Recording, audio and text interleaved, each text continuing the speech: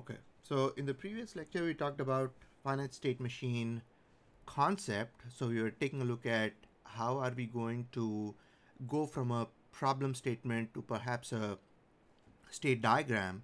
And we also looked at how to go back. So given a finite state machine, how do you do a reverse engineering? Meaning, how do you go from a circuit to a state diagram? So we, we looked at both those cases in the previous uh, lecture now we are going to be focusing on, okay, we need this finite state machine. Can we actually go ahead and design it using flip-flops?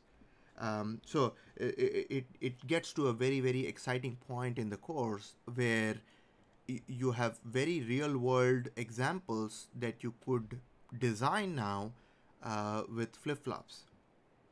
And, you know, some parts of it are uh, straightforward, but some some steps in this design process uh, tend to be a little bit more difficult just because they they they they, they have a lot of creativity uh, about they, they would need you to be creative about how you choose states and how you do the uh, state assignment.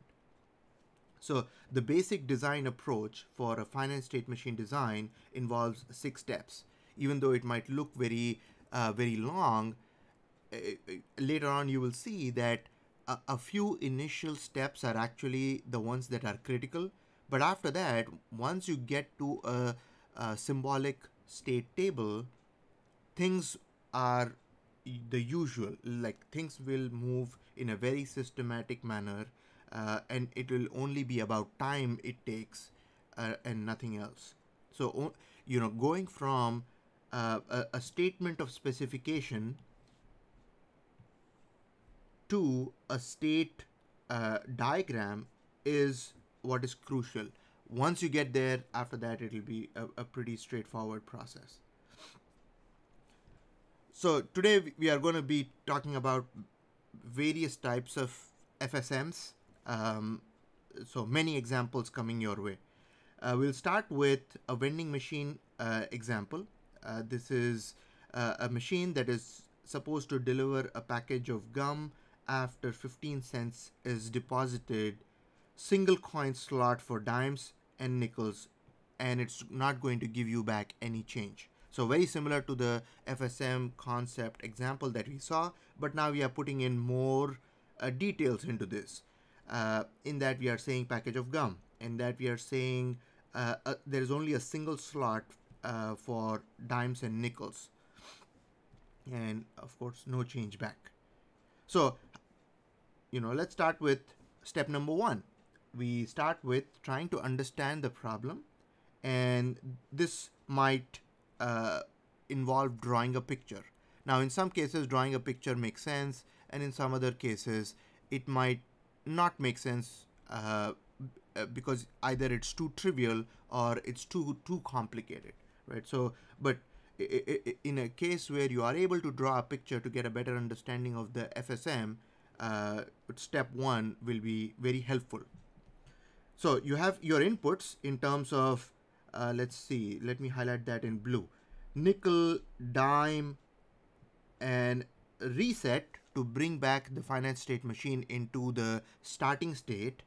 We can call that the reset state. And then of course there is a clock input for the vending machine FSM because the FSM involves some logic gates as well as flip-flops and all those flip-flops are edge triggered devices and hence they would need a clock input. So we to for this vending machine um, finite state machine we have a coin sensor that is going to detect whether a nickel was uh, put into the slot or a dime was put into the slot and depending on which coin was entered by the user it is going to assert a signal N or D that goes as an input to the vending machine, finite state machine. And then the vending machine is going to keep track of how much money is currently being deposited. And then once it reaches the 15 cents value, it is going to assert or activate an output. So this is our output. Uh, let me do pink. That's our output. Um, it's going to assert the output, which is going to activate a gum releasing uh, mechanism. So that's you know a, a, a picture to show you what that this FSM is about. Okay, looks like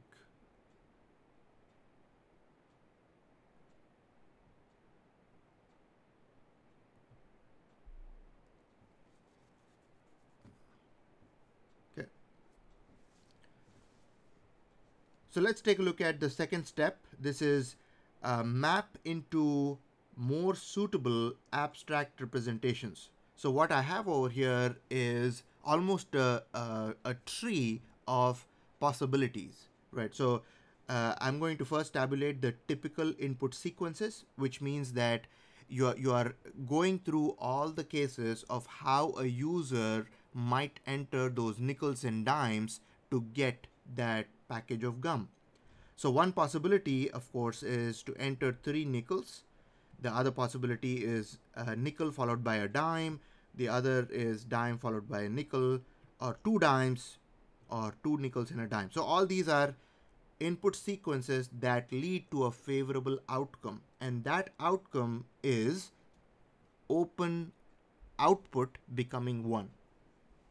Now I have sketched a state diagram on the right.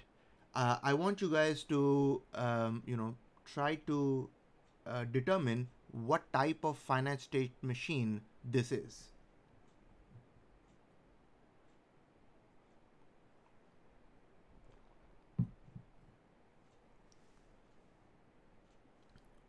Clearly, your options are Moore and your other option is Mealy.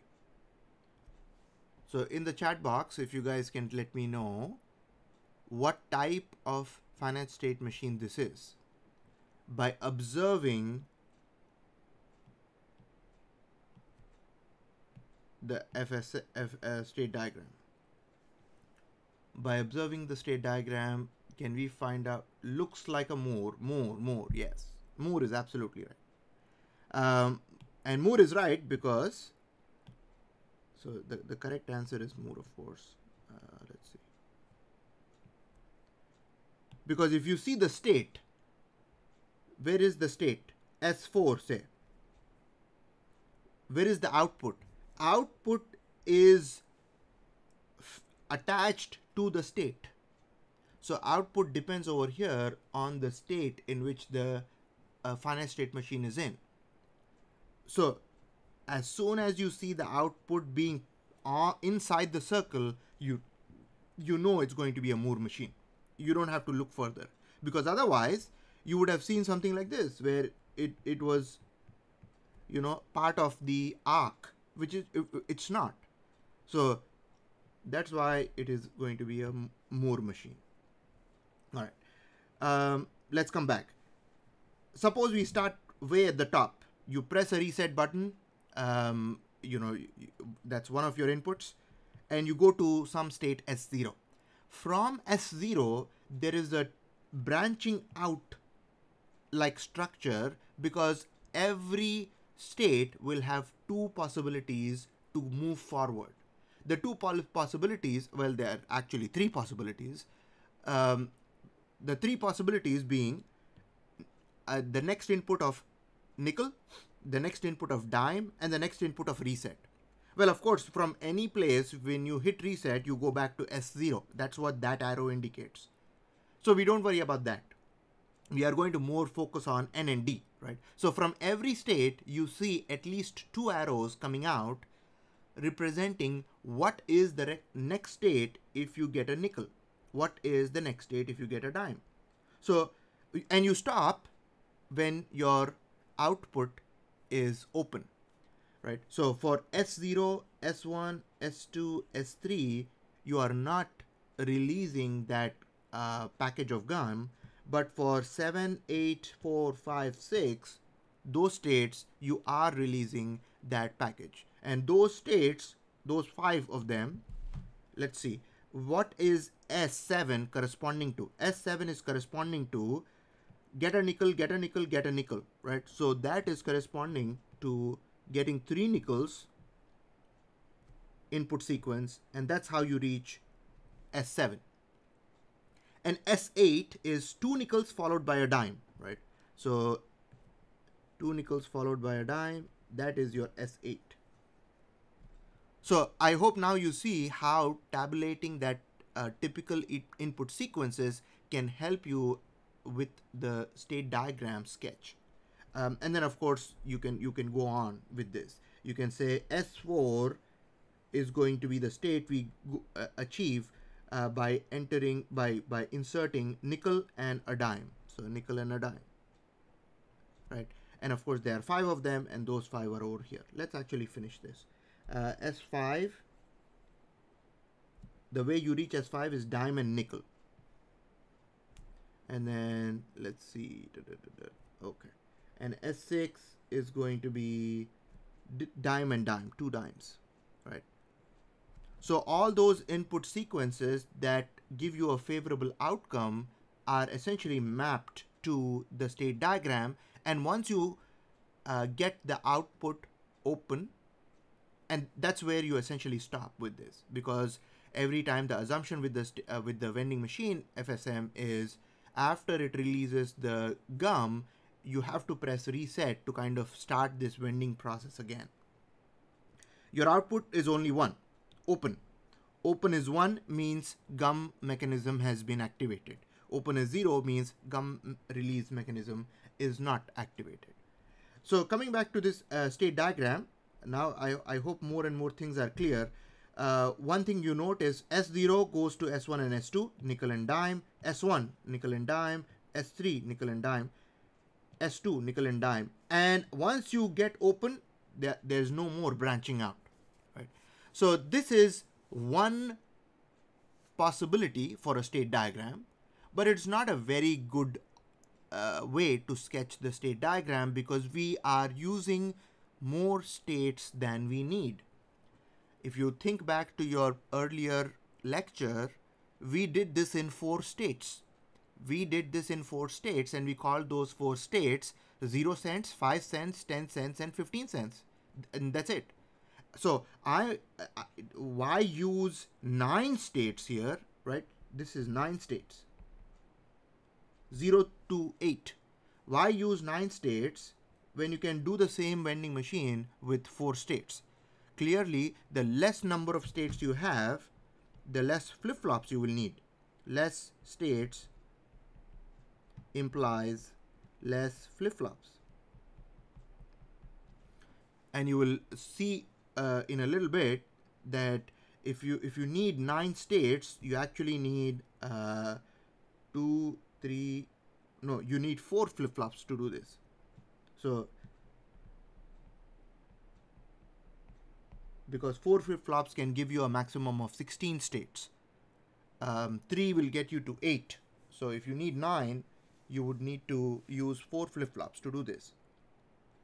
But if you were using the pre earlier state diagram with four states, you would just need two flip-flops to do it.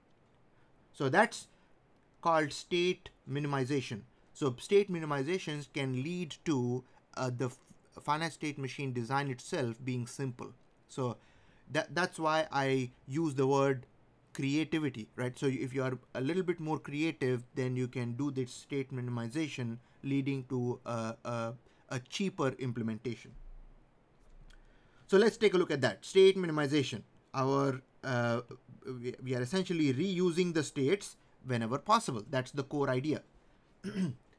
uh, Charles says flip-flops equals ceil of log 2 of states. That is absolutely correct. So that's the formula. The number of flip-flops equals the ceil operation of log to the base 2 of the number of states. This uh, formula comes up later in the lecture as well, but yes, that is absolutely right.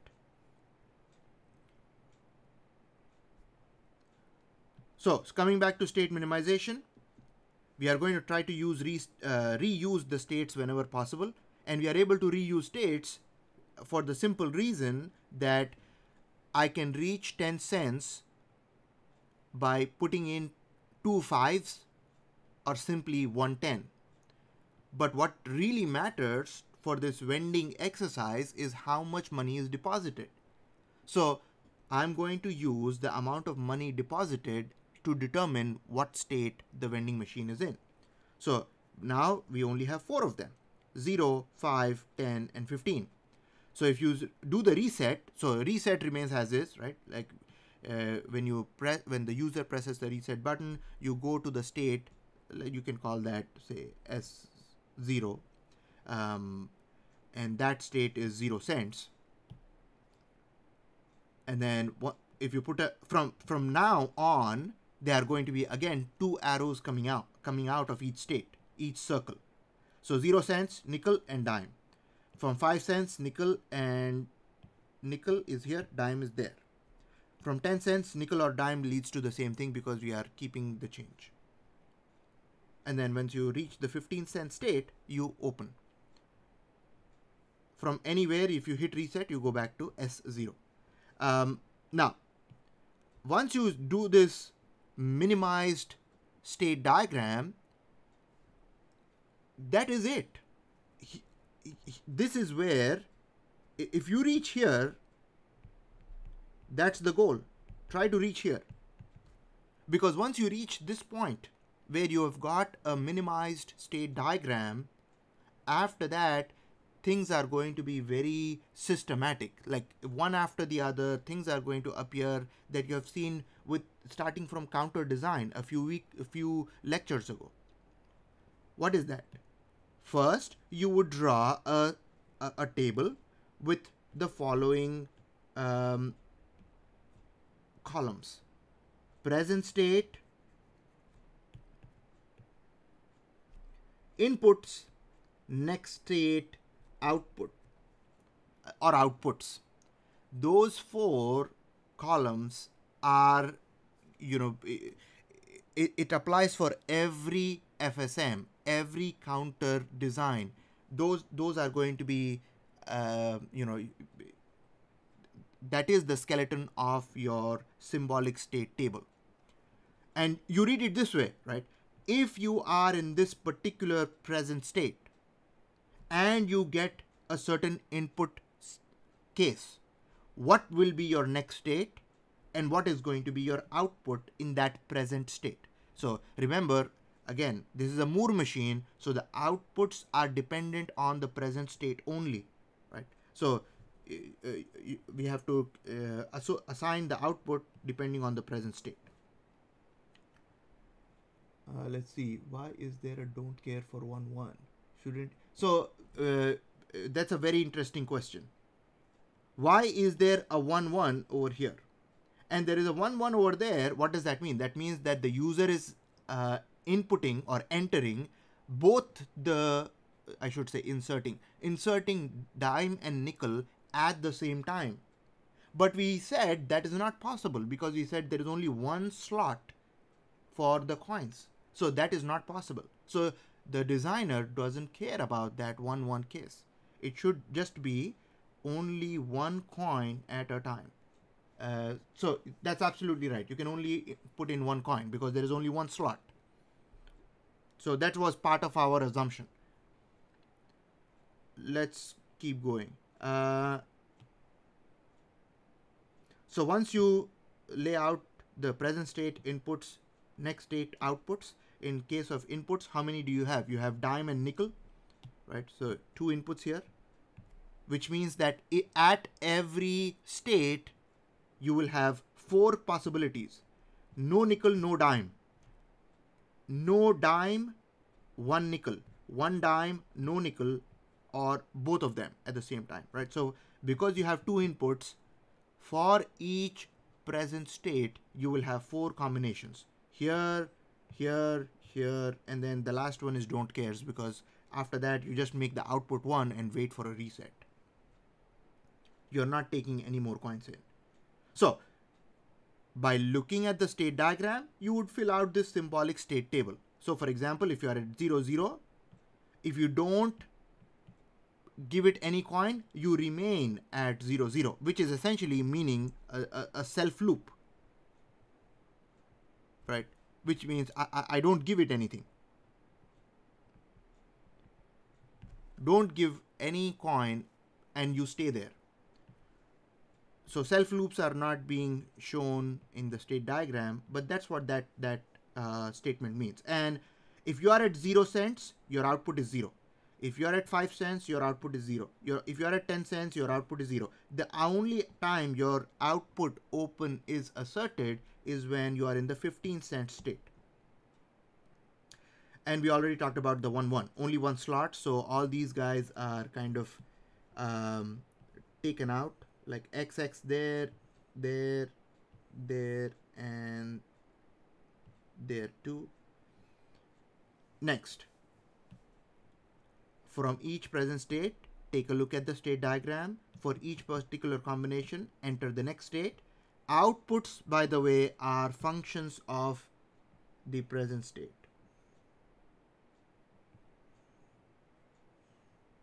Uh, come on. Because Moore machine.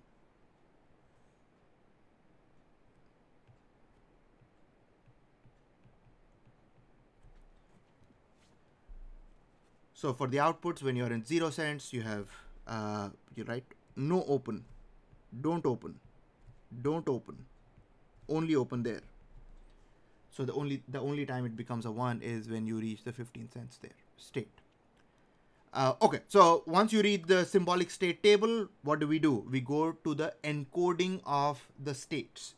So I can choose any arbitrary encoding. For example, I can say 0 cents, I can map that as uh, 0, 0. 5 cents, I can map that as 0, 1. 10 cents, I can map that as 1, 0. Uh, one, uh, 15 cents, I can map that as 1, 1 and what do I call the uh, states? Well, I call the states queues, right? So I can use this as Q1 and Q0. Those are the outputs of the flip-flop. So the output of the flip-flops in your FSM, that is what denotes the state you are in. So if the two output, obviously you need two outputs because there are four states, Q1 and Q, Q1 and Q0. Q1 and Q0 indicate the present state. Q1 plus and Q0 plus would indicate the next state. And that depends on your, your input coming in. But that's my state assignment. And you know, right now it is an arbitrary assignment. You can choose a different one. But you will have to stick through it until the completion of your circuit. So that's the next step here to go to the state encoding which will also lead us into answering how many flip-flops are needed. Of course, you have Q1 and Q0 and uh, if you have Q1 and Q0, obviously you need uh, two flip-flops, right? Doesn't matter which flip-flops. Right now, I'm using D flip-flops. D1 and D0 indicate the input of your uh, uh, indicate the next state of those t- two D flip-flops. Uh, remember Q plus equals D here. So instead of writing Q1 plus and Q0 plus, we are writing D1 and D0 for the next state columns. Um, and choosing D flip-flops might not be the best choice, but it is an easy choice uh, because the, the, the filling out of the table uh, becomes very easy. You don't have to uh, look at the excitation tables too much. Uh, you can quickly refer to the characteristic equation and fill out this table uh, if you are using a D flip-flop. But there's no rule that you cannot use other flip-flops. You can use, uh, since you have two flip-flops, you can actually use one JK, one D. You can use a combination of the flip-flops as well. Just as we thought, just as we discussed in uh, the counter design lecture. So all we did from the previous symbolic state table to now is encoded things. So 0 cents became 0, 0, 5 cents, 10 cents, and 15 cents. And we, re, uh, we uh, wrote down the remaining things as before. So if you are in the 0 cent state and you get nothing, you stay in the 0 cent state, 0, 0 and then if you are in the zero zero state and you get a nickel you go to uh, like five cents right so zero one output is 0 here, here, here, and then output is 1 only in the last column there.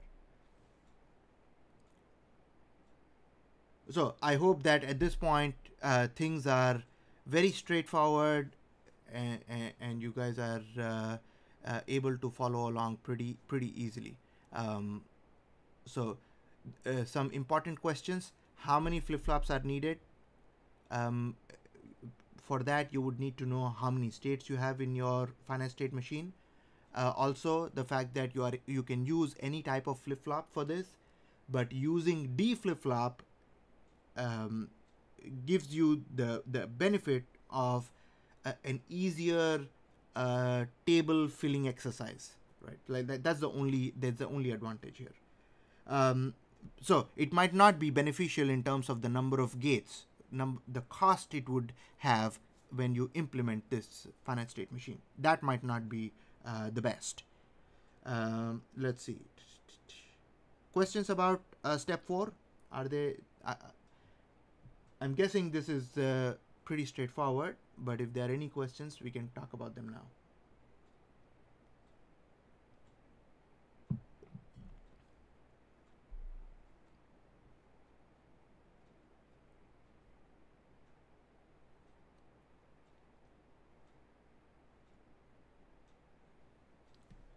One thing to also note with a Moore machine is that the output changes because output is dependent on present state that means that the output open is going to get active only after the finite state machine goes to the next state right?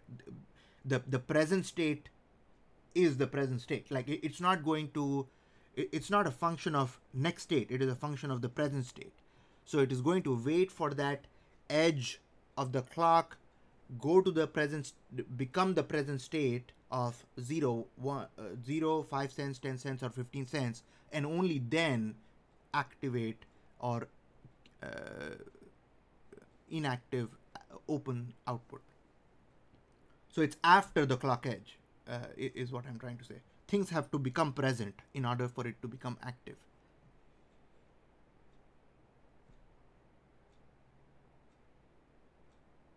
Okay. Now, what do we have? We have a very, very long, uh, easy exercise remaining to go to the uh, circuit, to go to the actual FSM. What is that? K-maps, uh, combining things and logic expressions and then sketching things. How, how did we come up with three K-maps? Well, how many outputs did we have? We had open, right we had open so let me erase this and talk about. So clearly we have open as one output. We have d1 and d0 as the two other outputs. So essentially we are trying to write equations for actually this doesn't look good at all. So let me just uh, write what we are doing here. Uh, write simplest SOP or POS, we, you know, simplest equations for D1, D0 and outputs, only one of them here open in terms of you have Q1, uh, Q0, D, N right? So you have got four inputs here. Two of them are the present state of the FSM and the other two are the coins being inserted. So that's that. But we are writing the equations for the outputs. D1 and D0 indicate what should be the input to those D flip-flops and open is the final output of the FSM. So this is actually like a, a long table, right? So you're going to have how many? Uh, four inputs essentially. So you have 16 rows. Uh, so it's a four variable K map. How many do we need? Three of them, right? So we are we are going to need three uh, four variable K-maps.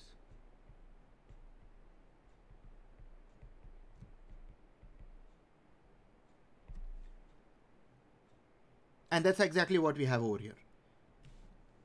So there's no point doing this again. Uh, I hope at this point in the course, you guys are very, very comfortable with this.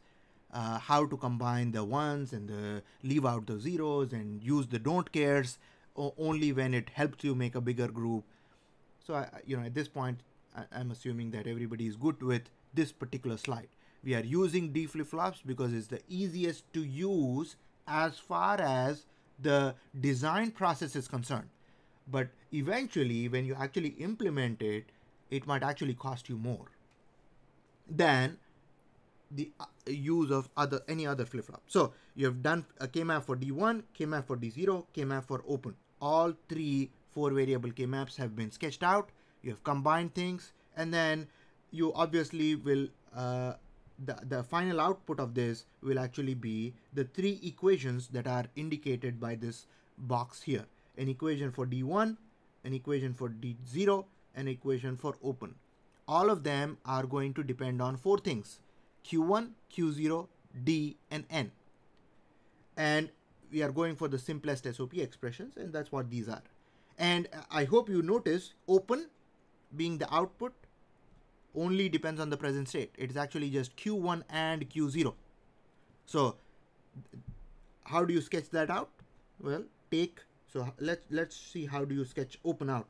Open, which is your output, driving the gum release mechanism, is an AND operation between the outputs of the flip-flops, Q1 and Q0. So you take Q1 from the top uh, flip-flop, you take Q0 from the bottom flip-flop, put them through an AND gate, and that's your open. And then similarly, you have D1. Let me use yellow for this. D1 is Q1 or D or Q0 times N. So how do you sketch that? D1 is the input to the top D flip-flop. So you can call them, uh, say for example, you can call them flip-flop 1 and flip-flop 0, right? So the, the inputs and outputs of flip-flop 1 are D1 and Q1. Inputs and outputs of flip-flop 0 are D0 and Q0. So that, that will help you uh, with the naming. Now, how do you sketch D1? Q1 or D or Q0 and N. So that particular uh, highlighted in yellow is actually implemented over here.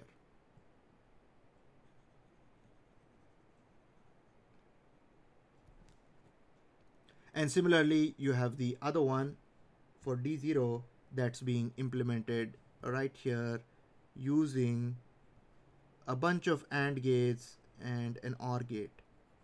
And you know, you, you can uh, represent them in uh, using NAND gates uh, or you know other types of gates as well. But over here we are using simple uh, sum of products form. Another thing to note, both the flip-flops are responding to the negative edge of the clock. That was not a part of the description or not a part of the problem statement, but that was a choice the designer made. That whenever the clock goes from high to low, that's when you change the state. Uh, there's also an active low reset input if, if, that can be used to bring the flip uh, finite state machine back to the original st original state of zero cents. Now, apart from the two D flip-flops, how many gates do we need? We need one, two, three, let me just write the numbers here. One, two, three, four, five, six, seven, eight. So eight logic gates apart from the 2D flip-flops. So let's see what would happen if we did the same vending machine FSM using JK flip-flops. Would we end up with a cheaper uh, implementation or how, what would it cost us? But this is it. This is your final step, step six, implementation using D flip-flops or I should say implementation of the machine using flip-flops. Questions here?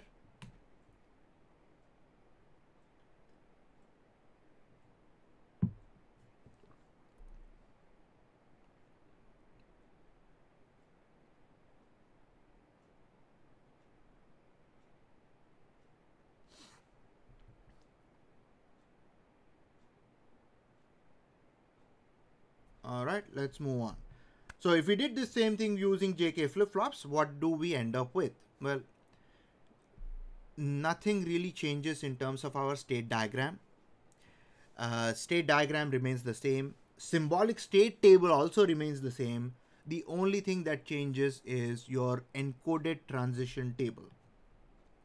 And the reason why only this changes is because now instead of having D1 and D0, we will have J1K1 and J0K0.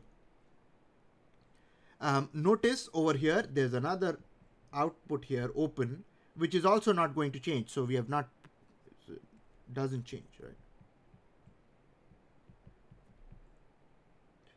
Doesn't change from earlier. Why, why not? Well, open only depends on Q1 and Q0, and we actually derived that open equals Q1 and Q0. It doesn't matter, it doesn't depend on D and uh, it, so I don't need to worry about uh, things changing because we move to J1, K1, J0, K0. It's a Moore machine, so I don't need to worry about that. Um, so because open doesn't change, we have not even made it a part of this table here. Present state, exactly the same thing as before. Q1 and Q0, 0, 0, 0, 1, 1, 0, 1, 1, indicating 0 cents, 5 cents, 10 cents, and 15 cents. Inputs, exactly the same as before. Four possibilities for each state. Next state, exactly the same. Q1 plus and Q0 plus. Next state is absolutely the, the same. But to get to the next state, you see, if I want to go from, and here is why we, you know, we need to do this extra step for JK and T, but we didn't need to do this for D flip-flop because for D flip-flop, Q1 plus equals D. So our D1 and Q1 plus columns were exactly the same. However, when you use J and K, JK flip-flop or T flip-flop, that is no longer the case. You will have to spend more time on this state encoded table in this case. So for example, how do you write J1 and K1? Well, take a look at uh, Q1 and Q1 plus. So let me highlight them with blue. 0 to 0, right? Q1 to Q1 plus. How can I go from 0 to 0? Well, make J1 as 0 and K1 as don't care. That's how you make that transition happen. Where do I look this up? You look this up into in the excitation table of the JK flip-flop. Similarly, for J0, K0, you would take a look at 0 to 0. Again, 0x. Next, you have, uh, let's see, there is a 0 there, there is a, there is a 0 there. Oh, sorry, there is a 0 there. So 0 to 0, again 0x. Next, 0 there, 1 there, 1x. And you would go down this table exactly in the same manner. Q1 goes to Q1 plus. What should I provide at the input of the JK flip-flop in terms of J1, K1? Q0 go to goes to Q0 plus, what should I give in order for that transition to happen at the input of the J0, K0 flip-flop. So uh, flip-flop 0. So use excitation tables of, I can just write it over here. Uh, excitation tables. of JK. Right. Excitation table. There's only one excitation table of JK. Right, that's how you, that's what you use to figure this out.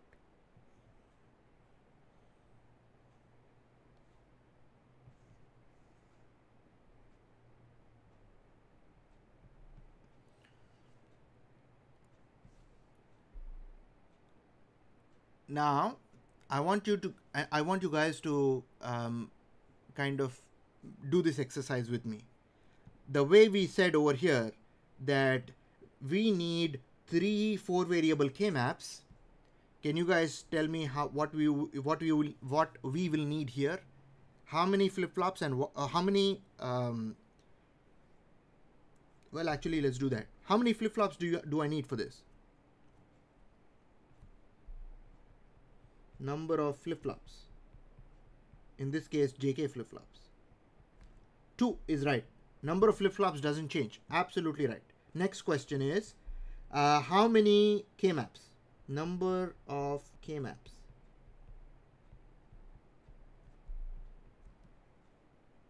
Alejandro says, uh, 3, 4. Which one?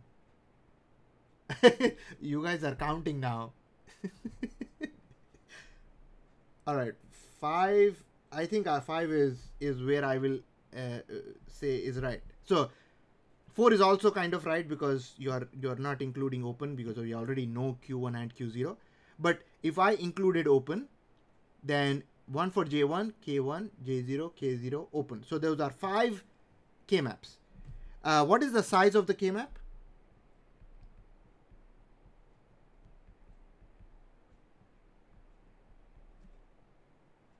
how many variable k-maps are those?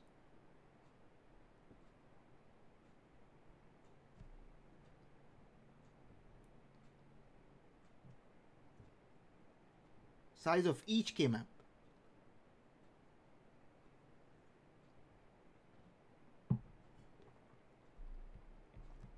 Four variable is right.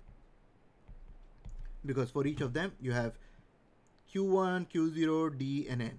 Those are the four variables. So you would write five equations for J1, K1, J0, K0 open in terms of four variables Q0, Q1, D and N. So pretty, pretty long exercise. But nothing difficult. It's just, you know, uh, going through the motions here.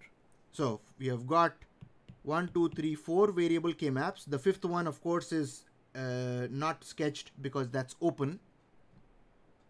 Each k map for J1, J0, K1, K0 is a four variable k map that depends on Q1, Q0, D, and N. The simplest SOP expressions are derived and listed in this box and then sketched in the FSM over here. So you start off with two flip-flops, two JK flip-flops, and we are assuming that it's a negative edge trigger design and then depending on the equations that you got you make the connections here we need seven gates so a little bit cheaper right not not not much but a little bit cheaper than the d flip-flop implementation so this exercise was done to just show you that depending on which type of flip-flops you uh, which type of implementation or type of flip-flop you choose you may have a different cost at the end. Which is why we need to go back to that statement. Counters have a very toggle, uh, uh, tog counters have a toggling feature inbuilt into them. So a T flip-flop is the best choice for that. Uh, registers have a data uh, placeholders for data, right? So D flip-flops suit that the best. But in a generic vending machine, there is no way to say which one is the best. You you actually have to do it uh, to to figure that out. There's no uh, one right answer for a generic FSM. There is one right answer for counters, T flip flop. There is one right answer for registers, which is D flip flop, but there's no one right answer for FSMs. For that, you just have to go through it and then do the comparison. Okay, um, let's do another uh, simple counter. This is a complex counter just because we are uh, switching the mode of the counter using an input M. So this is our input.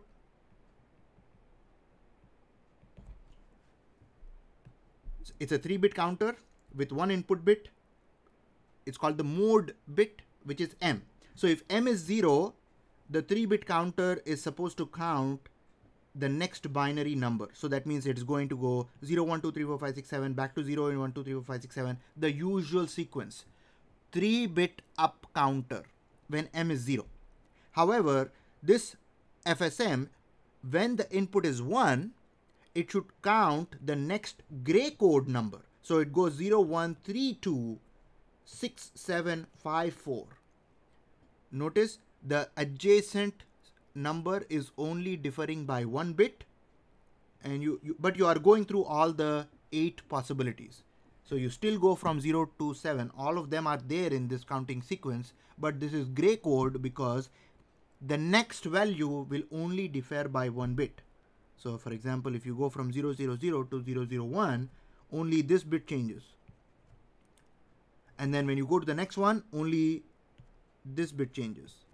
And then when you go to the next one, only this bit changes and so on, right? Um, so that's your gray code um, and that should happen when your input is 1. So your counter is counting differently depending on how you choose that input m to be. So for this, we are not going to complete the entire exercise because we already have said that once you reach the state diagram, after that things are pretty straightforward. So we will just draw the state diagram for this. So how many states do we need? Well, we need one state for each output combination. How many combinations do you have for the output? Well, the counter is supposed to count anywhere between 000 and 111. So obviously we need 8 states. Those 8 states are indicated as S0 all the way down to S7. And the output of this counter is simply the outputs of the flip-flop. It's the it's the uh, next state, right? So for a counter here, output is equal to the next state. Oh, sorry, output is the present state.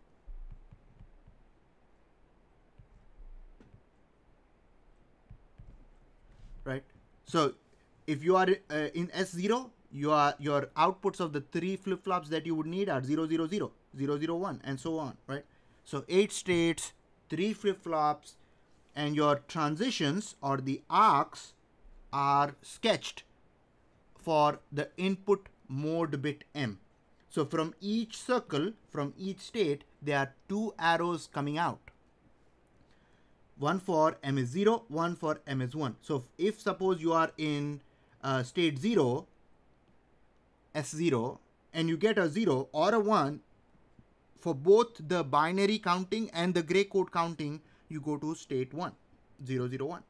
But from state 1, if you see, if you get a 0, that's binary counting, you go to state 2. But if you get a 1 for the input, if it if mode bit is 1 at that time, you go to actually 0, 1, 1, state 3. That's counting in gray code. And that's how you actually fill out the all the arcs for uh, this state diagram. And again, there is a reset to initialize things. Uh, and that's going to be kind of like a given for all the uh, for, for all the finite state machines. Reset to kick things off. And then, you know, finally, when you reach state 7, 111, if you are counting normally using the binary counts, you come back to 000. However, from state 7, if you were counting in gray, you actually go to 5 because after 7 here, it is 5. Right. You come back to 000 after 100. After 4, you come back to 000. That's indicated by this. Right there. So there's a, there's a different response to, you know, when that uh, pattern repeats. Okay, so once you come up with the state diagram, you know, it's, it's all present state inputs.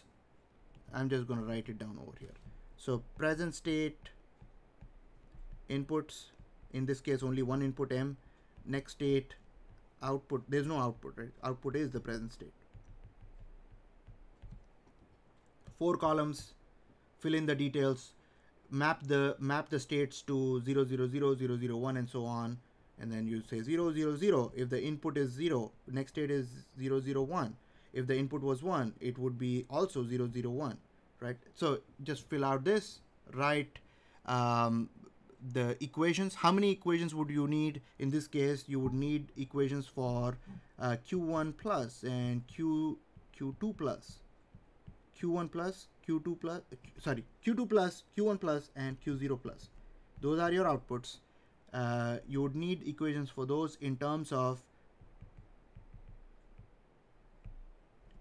q2 q1 q0 and m so you would need three four variable k maps to do this completely but you know all of that is kind of um, redundant at this point.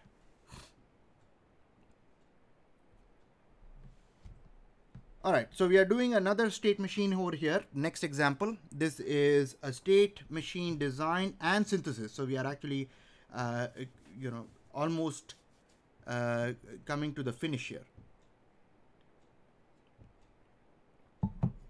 So we are not implementing it. We are not giving the, the exact details, but we are talking about the complete design and synthesis process. So the example over here is design a combination lock with two inputs x1 and x2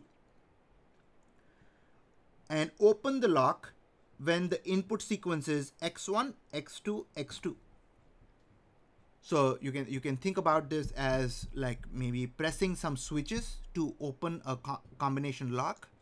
Um, so those inputs are x1 and x2 those are two possible inputs and if you do it in that particular sequence x1 followed by x2 followed by x2 only then the lock should open. And otherwise it should not open. And in this case you are not sounding an alarm or anything. Uh, it's a it's a pretty simple example.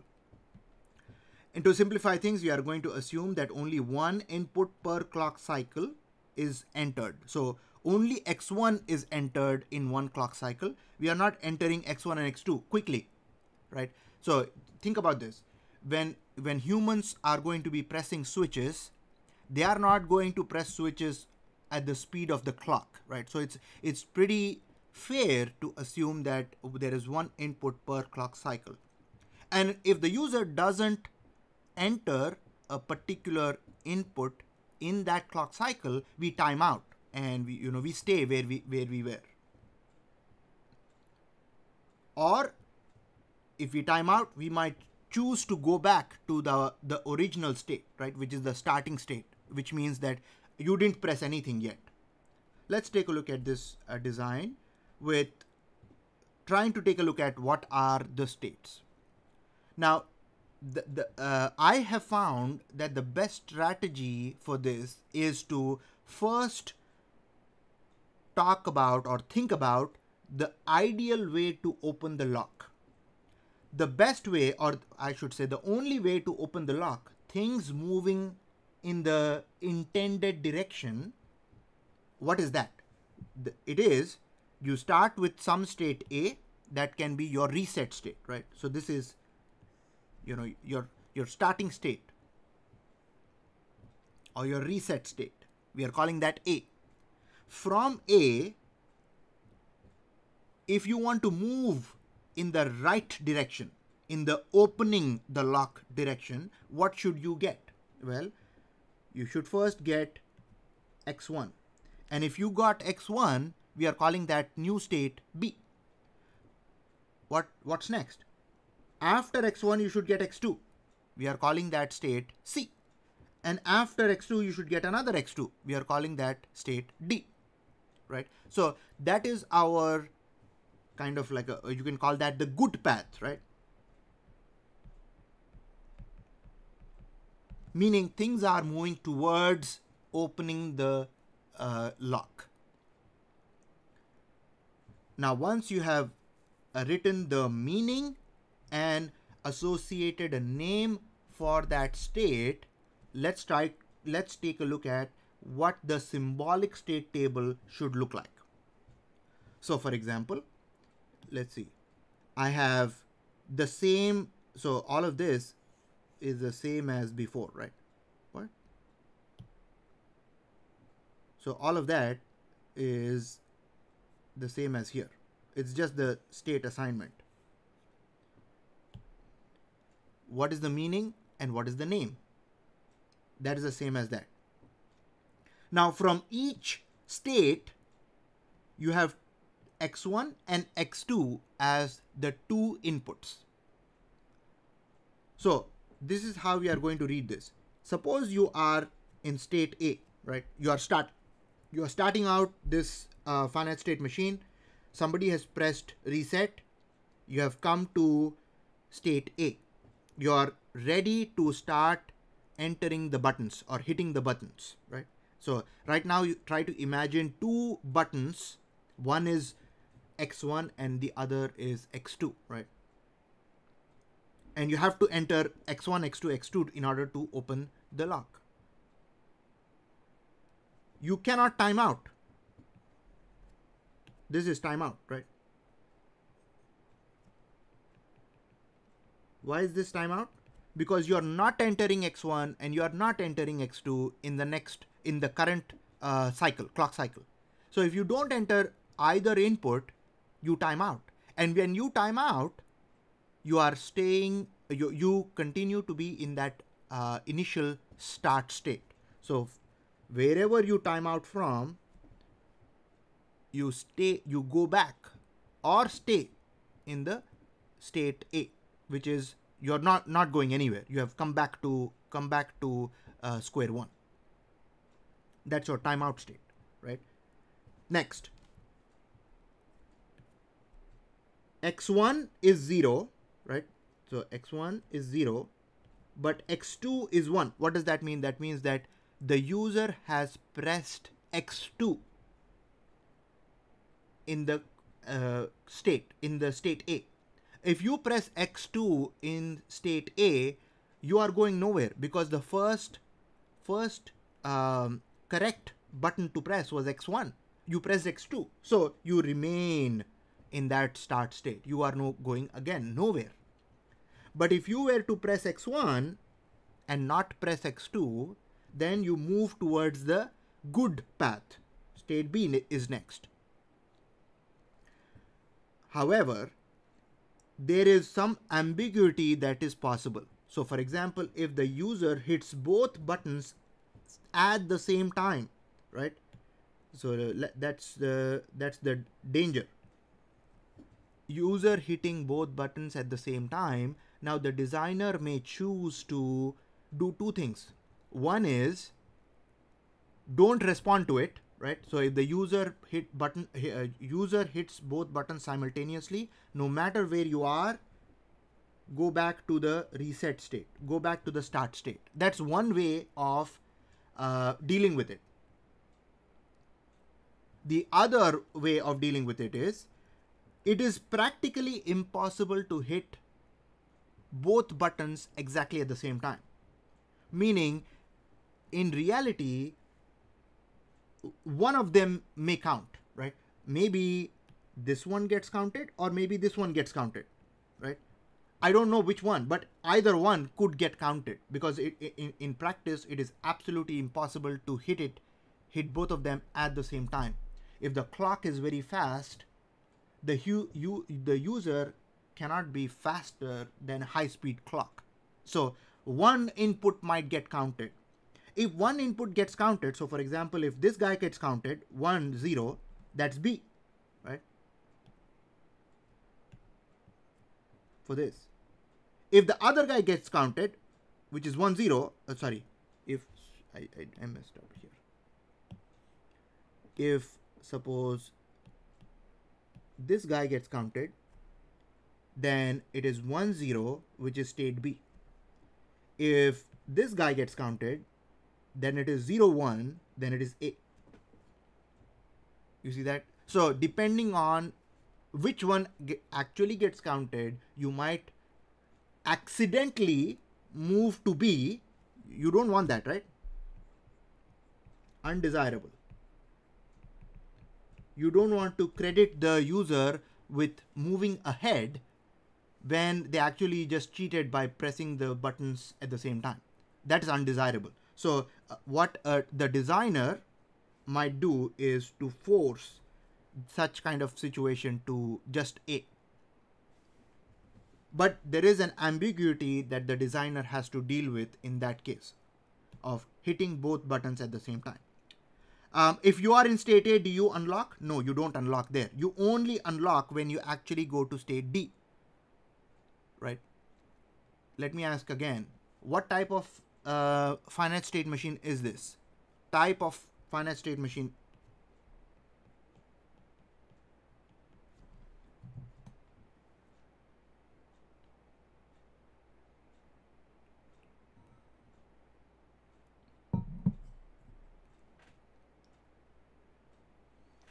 So your options, of course, are Moore and Mealy.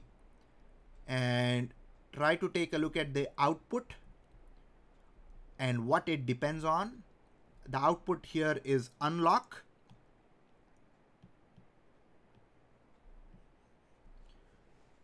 What does it depend on? And answer Moore or Mealy.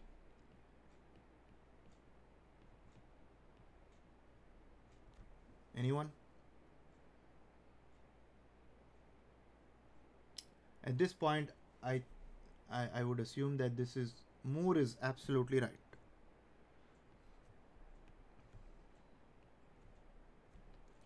Because output 0001 is dependent on the state the machine is in.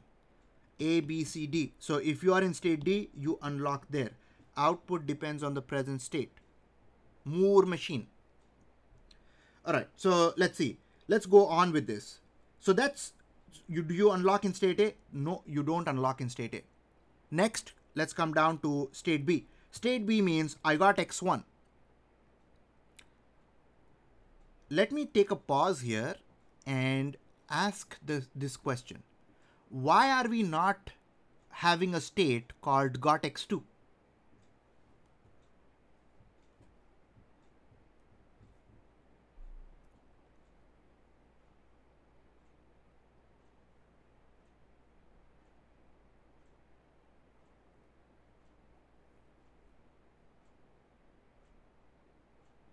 X2 self loops to the start.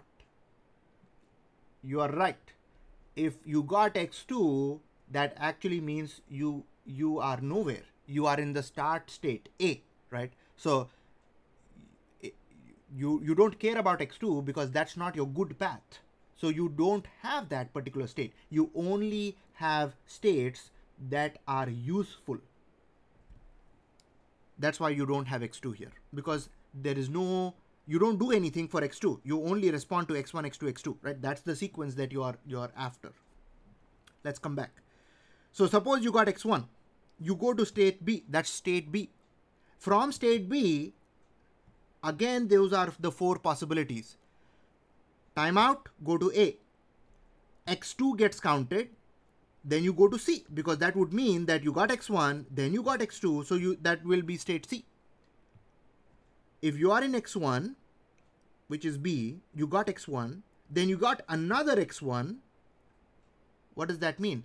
The previous x1 can be ignored. Now you can count, count that as the, the new x1, right? So if you get x1 and you press x1 ag uh, again, you are going to start state A. Because you see x1 followed by x1, that is a incorrect uh, sequence, you go back to the start. If you try to hit both of them at the same time, again that ambiguity exists. So either A might get counted or C might get counted. A getting counted is makes more sense. If C gets counted, that's undesirable because that means that the user is getting away with just hitting both buttons twice and actually moving up in the good path to state C. So that's undesirable again. You don't unlock here as well. Next state got x1, x2. So you've got x1, x2 now. You're almost there. That the, the name of this state is C. If you time out, you go back to A. If you got x1, x2, and then again another x2, you are in state D where things will open. That's good.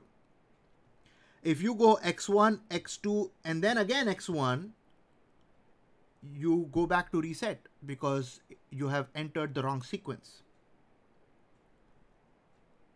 Let me come back to th these two cases uh, in a little bit because there, there is another way of dealing with these guys. Let me come back to that. Um, next, if you hit 1, 1 again, you could either be in A, you could either be in B because of that ambiguity. Um, D is absolutely undesirable now because by hitting the both the buttons twice, the user actually got away with it. They were able to unlock it. So you absolutely, as a designer, don't want to allow that. Uh, a getting counted is more reasonable, which means you are going back to the start state, or perhaps an alarm sounding is even more uh, useful, you don't unlock in state C. State D is x1, x2, x2. From that particular state, if you time out, you go back to state A. If you press, uh, after you unlock, you press x2, again you press x2, that's A or D. That's again the uh, possibility that the previous x2 didn't get counted right? So if the previous x2 didn't get counted because of that ambiguity you, your x2 might get counted here. If you get x1 followed by x2 followed by x2 you're you're open now and then you get an x1 that should count as the new x1 here. So that's your state b. Hitting both of them uh, again together then now there's no moving forward. You're already there in state D. So you reset here. Unlock output becomes 1 in state D. So that's how you would fill up the truth table. You have two inputs x1 and x2 you have four states. Depending on that you would you would go through the process of figuring out next states and output unlock. Now i wanted to come back to these two right? These two mean that if you are in state b and you got x1 you so you got x1 you get another x1 you go to reset state. Now because this is a combination lock it is supposed to be more secure so it's more supposed to be more sensitive to an incorrect input sequence which is why we are going to back to a right? All the way back to reset. But i should point out that if this was some sort of a, a pattern recognizer like like a okay you are trying to keep track of 101 sequence. In that particular case if it was not so sensitive application then if you if you got x1 and you got another x1 you might want to stay back in state b because that that new x1 should count as the got x1 right? So i, I i'm not sure if uh, this is clear but the designer could have actually chosen B for this. And over here, got x1, got x2, then I got x1, B here as well, right? So they could have chosen B here if the application was not sensitive uh, as a, a, lock, combination lock. So for example, for a, a string recognizer, you might choose to, to, to go to B instead of uh, staying at A. So your your choice of how you do the state transition uh, matters uh, so, or is uh, a direct consequence of the application that you are designing it for. Obviously, locks are supposed to be uh, more sensitive than a string recognizer. All right, questions about this example?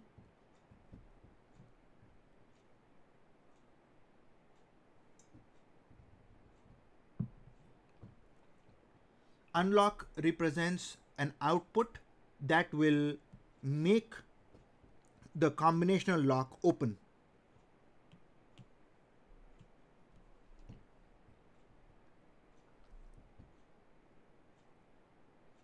So it's a it's a mechanism to so think about a you know that's your box and there are switches x1 and x2 written on it and this box will open when you press this guy and then this guy and then this guy again. Right? So to open that you need some signal right? Some signal to to become active in order for that to open. Like we had the gum release mechanism uh, in the previous example. It's something similar to that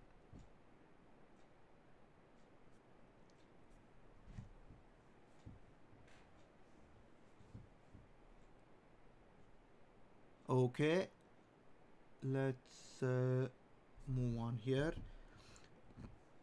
We have talked about these things. State assignment uh, we can uh, minimize the number of states. We already talked about how many uh, flip-flops we need. Uh, let's see. State uh, okay. I, I I don't think we need to talk about anything over here. We have kind of gone through these guys in detail. All right, so the next step in this combinational lock is to do the state encoding.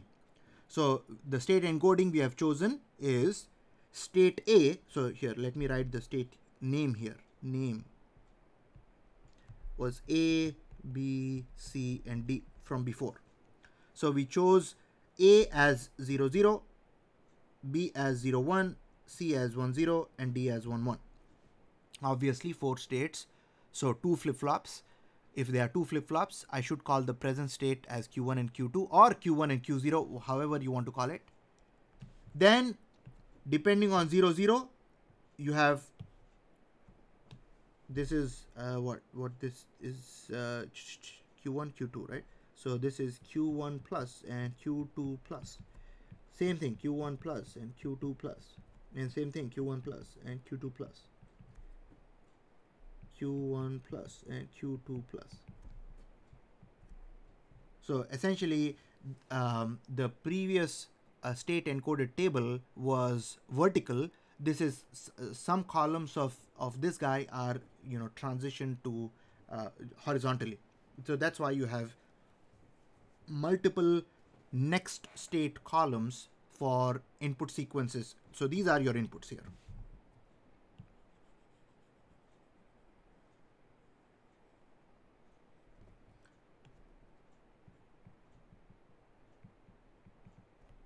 where are your so still you have you know all the all the uh, information.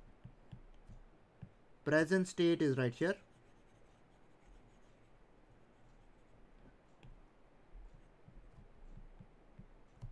Inputs are there. And then let's see uh, here are your next states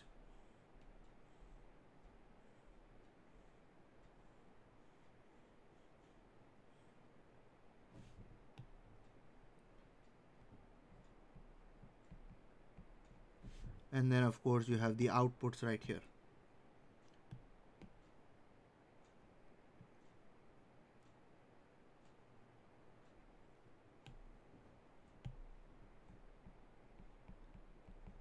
So still the same four things, present state, inputs, next state, output, but they are arranged uh, slightly differently over here. Just because that this kind of arrangement makes more sense for this combinational lock exercise. Notice over here, eventually what did we choose for 1, 1, the ambiguity state? We chose to go for 0, 0 here, as you can see. We had to pick one, right? We had to pick one with a comma b a or c a or d we picked a because b c d would mean uh, giving the user uh, an advantage for uh, hitting both buttons twice uh, at the same time so we picked one and we went with that zero zero zero uh, zeros here zeros here zeros here so state a essentially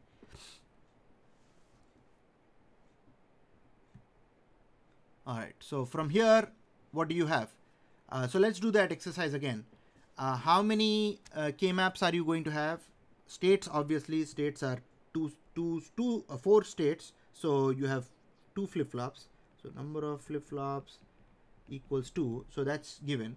What did we do next? We said uh, number of e equations or number of K-maps. Okay, number of K-maps. How many K-maps are you going to have to do this? uh, assume, uh, let's see, which one should I pick? D flip-flops. Assume the implementation is using D flip-flops. In that case, how many K-maps would you need?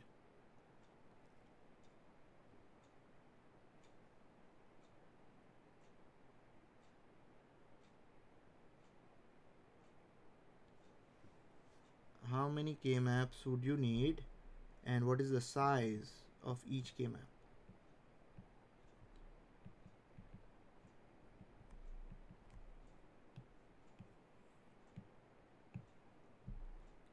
guys how many k-maps would you need if the implementation is using d flip-flops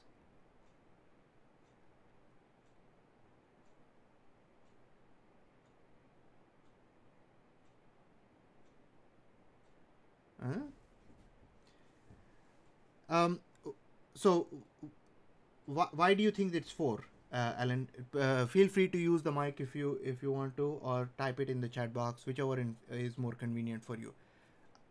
Or maybe five. Should you should use two?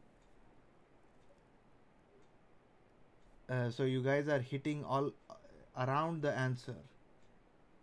So you have you you have done two, you have done four, you have done five. The number that you have missed is actually the the answer. All right, so they are going. You are going to need uh, three. No, you are going to need three because you have one equation for uh, D1 right? We, we have two flip-flops. So we need to figure out the inputs to those flip-flops. So you have an equation for d1 which is essentially q1 plus and you need another equation for d2 for q2 plus right?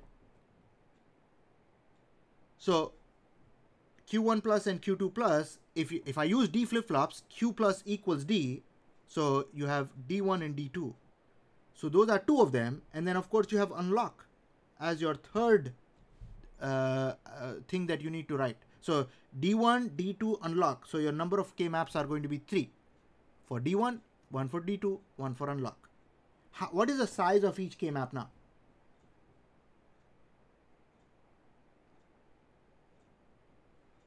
So D1, for example, D1 depends on what? D1 will depend on Q1, Q2, x1, x2, right? So size of each k-map, let me highlight the, the inputs here. Each k-map will depend on q1, q2, x1, x2. So size of each k-map is 4, right? So you, you will need three four variable k-maps to do this. An equation for D1, an equation for D2, an equation for unlock. one here, one here, and one here. So once you have those three equations, then you can start sketching things out. And it should look something like this, right? So all the things are over here mentioned. We got two flip-flops, we got unlock. Uh, the the combinational logic is left for you because you know you you the the k maps can be done um, but the inputs to that or you know this is d1 right? This is d1 and this is d2 so d1 depends on q1 q2 x1 x2 d2 also depends on those four things. But unlock depends only on q1 and q2 it only depends on the present state uh, because it's a Moore machine and also how the k-maps uh, turn out um, but but that process this this combinational logic uh, is not provided over here because that is the result of the minimization of all these uh, three K maps, right? So that that is left uh, for you. But that's your final design. Two flip flops. So you know one um, one technique that I would um, give you uh, is this. My suggestion for how to draw after you got the equations, right?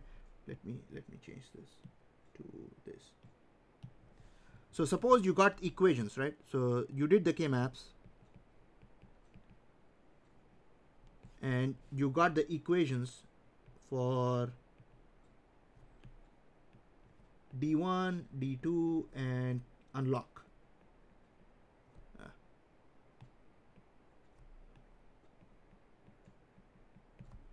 So if you're if you are already there, eh, if you have reached here, what how how do you sketch it out? The way I like to start is first I draw the flip flops. So right away I know that there are two D flip flops, one and two, right? Because there is a D1, there is a D2. So I've chosen D flip flops and I have two of them. So I'm going to draw two of them. Then I pick either a positive edge triggered or a negative edge triggered design based on, uh, you know, uh, my choice. But I have to make sure that both of the flip flops are the same edge, right? Either both of them are positive or both of them are negative. Then I associate a name with them. So for example, for D1, I will call this flip-flop 1. For D2, I will call this flip-flop 2, right? Um, and then I have D here, I have Q there, I have Q there as well. And then I have D here, I have Q here, I have Q there as well. Right? So that's my first step. My next step is to highlight the inputs. My inputs are what? X1 and X2. My next step is to sketch the clock. And I connect that to both here as well as here. Next, I look at the equations for D1, D2 and unlock. Also my unlock is somewhere here, right? Then depending on the equation for unlock, I will sketch some combinational logic here. And if it's a Moore machine, for example, then it will only depend on uh, the Q's. So I will, I will, you know, go in here and then I'll go in here or depending on however, you know, I might be using the, the complement forms of the output, you know, it depends on how the equation turns out but then that will drive my unlock output. Similarly, for the equations for D1 and D, D2, this guy is my D1 input and this guy is my D2 input, right? So D1 is related to some Qs. Where are the Qs? This is Q1, this is Q2, right? So I will take the Qs from here, X1 and X2 from here, and then that will be my combinational logic that will go in here as well as here. so that that that's essentially how i would work out right like the whole design. So this is still left as a question mark because that depends on the equations. But i hope with this you see how to build the circuit up. Put the flip-flops down uh, put the clock down uh, mark the input and output. Then you start sketching the combinational parts. This is your combinational logic. You know in our block diagram initially in in, in our uh, lecture we call this combinational logic f. And then we call this combinational logic G, I think. So in the finite state machine lecture, um, there were a couple of block diagrams. Uh, uh, I think it's somewhere here. Uh, yeah, see that combinational logic F and combinational logic G. Those are those are the ones that we just just now sketched right there, F and G. All right, questions here?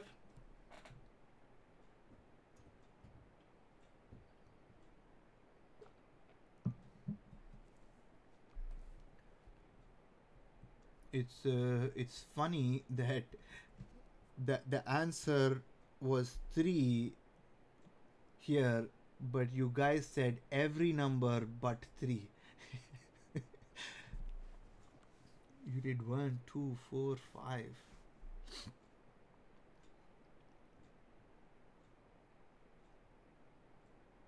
All right, let's move on here. Um, as far as timing is concerned, we still have the setup and hold time considerations, right? We cannot uh, change the input uh, with respect to the clocking input too fast. So we have to hold the input uh, stable before the clock edge and after the clock edge for a small duration of time. Those are called setup time before the clock edge and hold time after the clock edge. These are minimum time requirements that need to be obeyed. Uh, if we if we don't obey that, obviously we end up in a metastable condition for our uh, finite state machine. Also, the propagation delay through a, a flip flop is uh, is something that we need to consider uh, because outputs only become uh, the next state is entered after the propagation delay from the the uh, the present state going into the flip flops and you have the active clock edge and then you get your next state is entered and the output becomes stable. So there is a propagation delay through the flip flops that need to that needs to be uh, taken into account Okay, let's uh, let's actually do something different here. Uh, let me go to a different problem and I'll come back to this. Let's do this. Uh, let's do a finite string recognizer. So what we have over here is an input X, only one input X. That's your say bit stream coming in.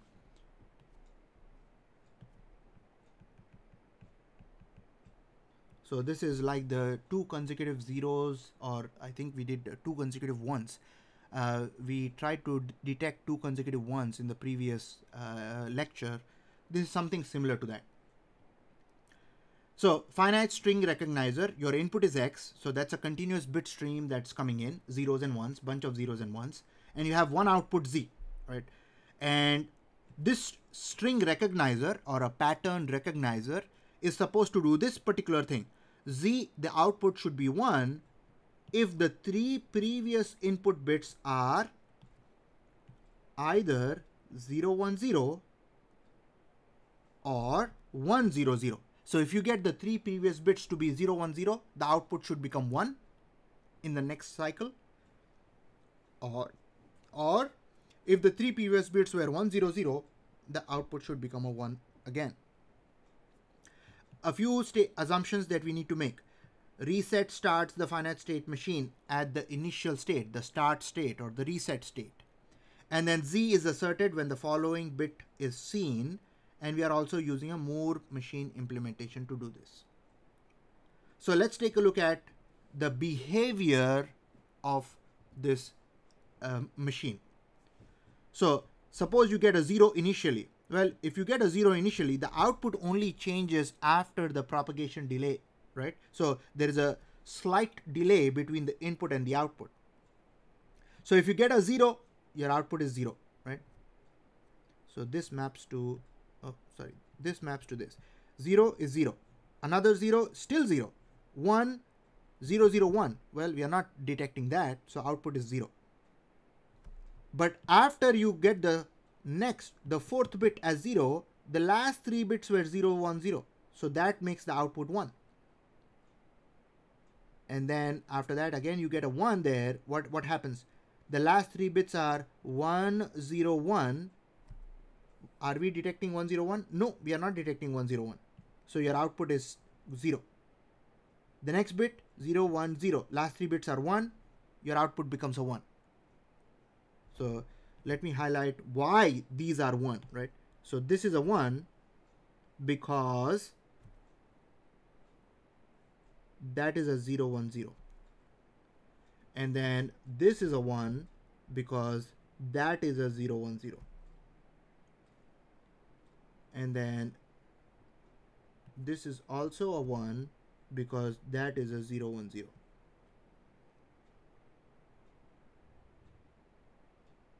uh, let's see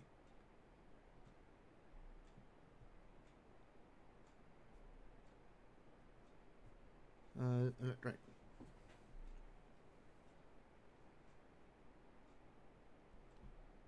let's uh, now no, notice this.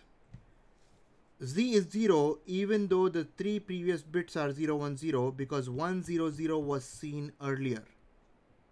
You see this? 1, 0, 0 was seen earlier right here.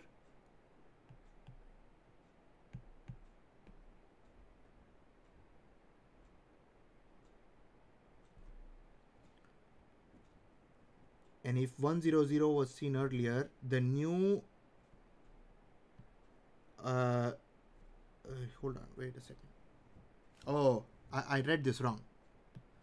So the, the, the finite state machine is supposed to enter 1 if the three previous bits are 0, 1, 0 and 1, 0, 0 has never been seen. I actually read this problem wrong. Right, let me clarify. So it is supposed to detect both strings but it is supposed to respond to these strings a little bit differently.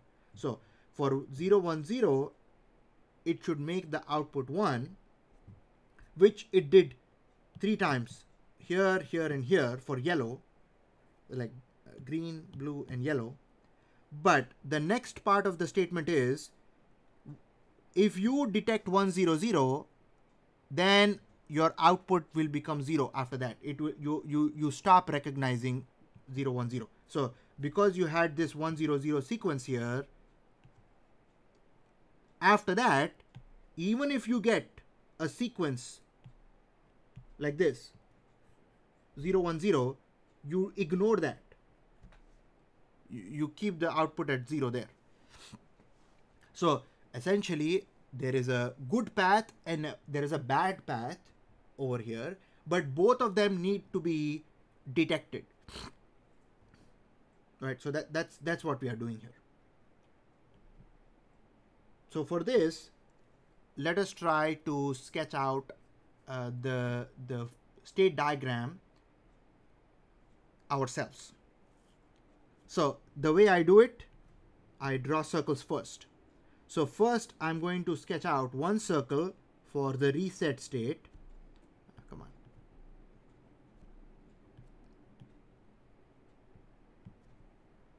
That's my reset state. And then uh, let me call this say S0 and when the when I'm in this state because I'm doing a Moore machine my output is 0 right? I, I have not recognized anything and I come here if I press reset. So that's my initial state. Then from here, I can either get a 0 or I can get a 1. If I get a 0 here, I am moving in the direction of 0, 1, 0, right? So I'm going to lay out these circles here to indicate the good path. So from here, I'm going to move here, move here, and move here. This is my good path. And I'm going to call this, say, S1 and S2 and S3, right? That S1 and S2 and S3 are you can, you we can read it like this uh, let me use maybe blue for this if I get a 0 here I move to S1 right? So that's S1 is my got 0 state. Then S2 so 0 1 and 0 right? That's the string I'm trying to recognize. So this is got 0 1 state and this is my got 0 1 0 state right? And at s1 i have my output as 0 at s2 i have my output as 0 at s3 that's my output that i recognize as 1 right? So that's my good path. I reset i got 0 i got 0 1 again sorry i got 0 then i move to 0 1 i move to 0 1 0 and i make the output 1 right? That's the good path. Now, because I need to monitor another string 100, I, and I need to do that because I need to respond to that as well. Differently, but I still need to recognize that. So I'm going to lay out another path like this right here.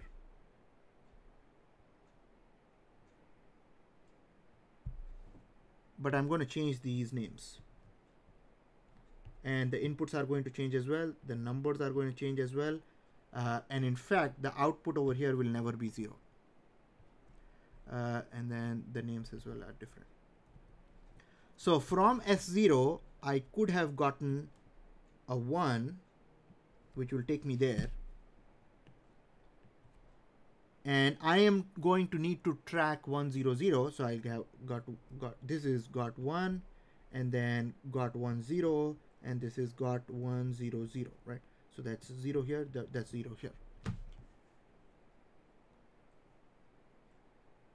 so I hope now you see that we are trying to tr and let's number them differently 0 1 2 3 and then let's have 4 5 6 on the other side so 4 5 6 right so now I have the left path as the good path detecting 0, 1, 0 and the right path detecting 1, 0, 1, uh, 1 0, 0. Right.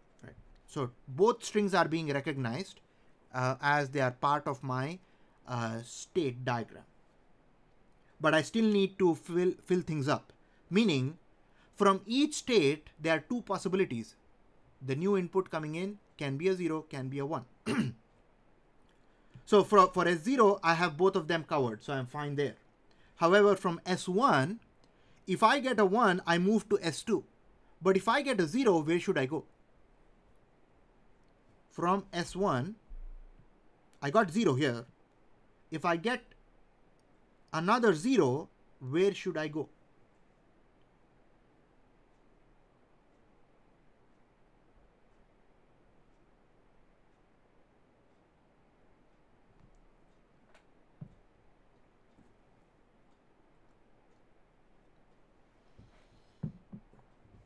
back to S. Well, if you get a 0, right? If you get a 0, what does that mean? That means you got S0, 0, right? But this, you see, you, you cannot ignore that, right? You cannot ignore the new 0 because that could be the start of a 0, 1, 0 sequence, right? So you cannot ignore the new zero that you got. So if you are in S1 and you got another zero, you have to treat it as the first zero that you got. So you, you, you need to stay there, stay at S1 then. Uh, let me draw it the other side. Uh,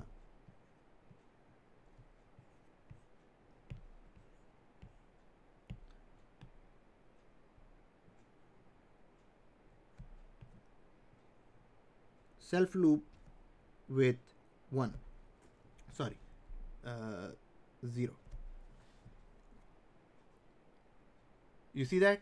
You, you guys see why we need to self loop back to 0 because the new 0 coming in could be the start of the new sequence 0 1 0 so we need to we cannot ignore that and go back to reset state because we, otherwise we lose that first 0 that you just got. So you need to stay at s1 for that so from S0, both of them are covered. From S1, both of them are covered. Now let's take a look at S2. If you get a 0 from S2, you go to S3. Good. But if you go, if you are at S2 and you get a 1, where should you go? 0, 1, a new 1 if you get another one, where should you go?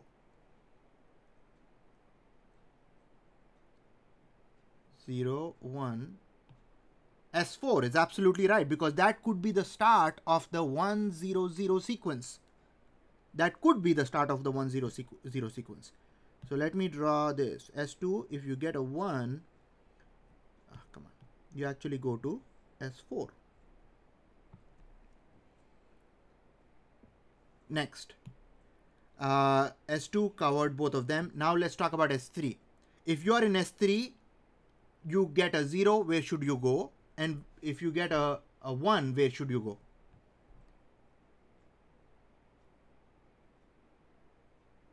Let's do uh, let's do uh, 0. If you get a 0 here, where should you go? If you at S3, if you get a 0, where should you go? 0 1 0 0 you see 0 1 0 a new 0 will make the last three bits 1 0 0 where should it go?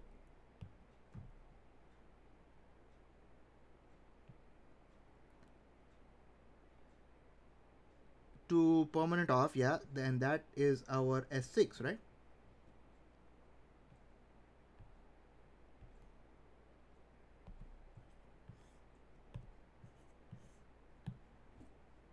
to permanent 0 until reset. Yes, so that's our uh, S6. So if you get 1, 0 and then another 0 here, you go to S6. Now, 0, 1, 0, uh, 1 comes in, where should you go? from here a 1 comes in where should you go you see you you, you have to keep track of the last three bits 0 1 0 1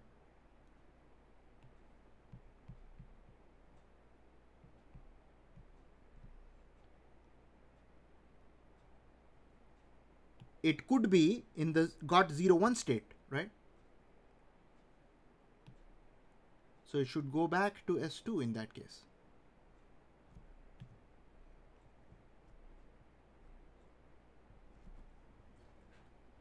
You guys see that? So from if you are in s3 you have got 0 1 0 and if you get a 1 that means that you got the look at the last three bits. 0 1 right? You, you you are in the got 0 1 state with with s2 now let's do this. I think we are done with all the arrows on the left side. Let's go to the s4 state. From s4 what does s4 mean? S4 means got uh, got 1 if you get a 0 you go to s5 what if you get a 1 if you keep getting a 1 that should count as the first one. So you will you should stay there. It is the same kind of uh, thing that happened on the left side for with S, s1 and a 0 now if you got 1 and then you got a 0 that means you go to s5 if you are in s5 you know what to do with 0 but what do you do with with a 1 so what happens when you get a 1 that means uh, let's draw it here. If you are in s5 you got 1 and 0 and you're waiting for a new bit question mark. And that bit is a 1 that means what? The last two bits are again 0 1 so you move to S2 that's got 0 1.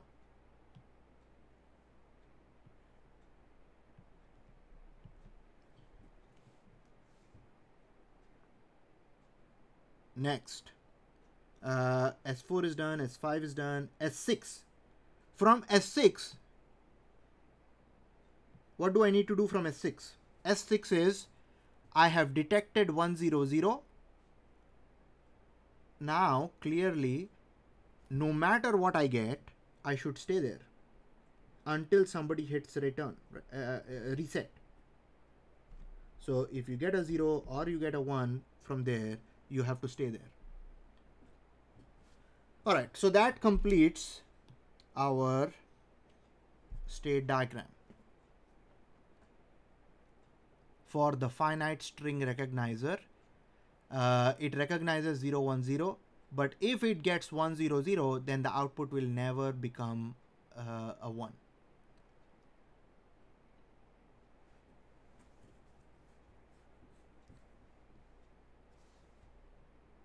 Now, once you have the state diagram, you can do the flip-flops. Obviously, we have seven states, so we would need at least three flip-flops to do this. Um, so let, us actually do that exercise. Add, add a template here how would the state uh, encoded table look like for this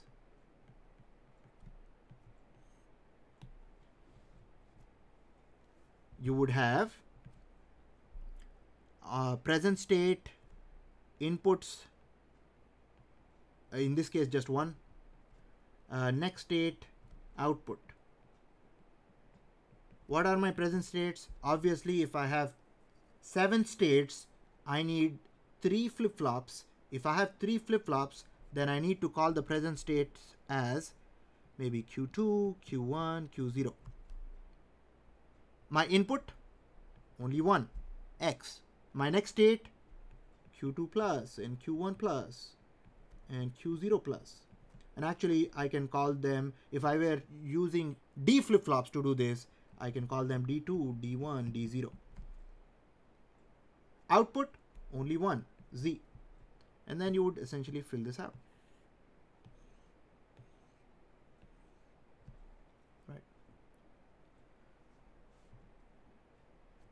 How many, um, how many K-maps are you going to get? Number of K-maps. equals. Size of k-maps equals.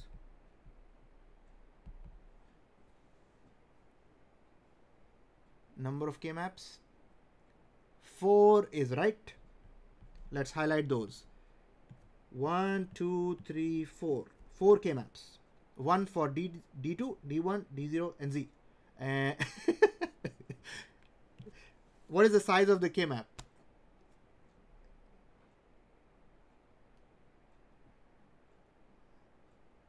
with a 3 bit uh, yeah if 4 yes. 4 is right for this. Uh, let me do 4 here and then with pink this is 4 because you have got those 4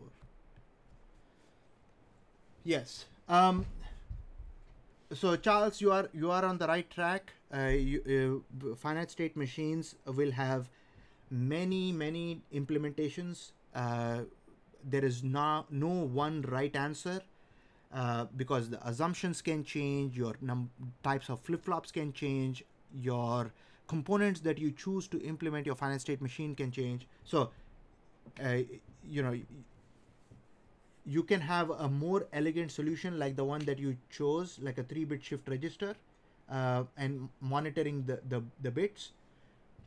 But this is a process that can be applied to recognize any string pattern, which is why I went through this.